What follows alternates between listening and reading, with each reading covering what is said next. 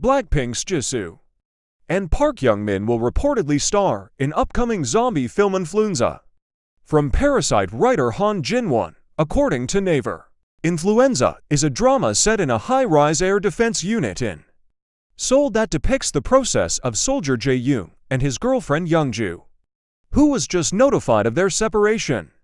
Running toward each other while struggling with a group of zombies, it is based on the novel of the same name by Jisoo plays Young-ju, a newbie in society, and is notified of her breakup after struggling because of Jae-yoon, who doesn't understand her feelings.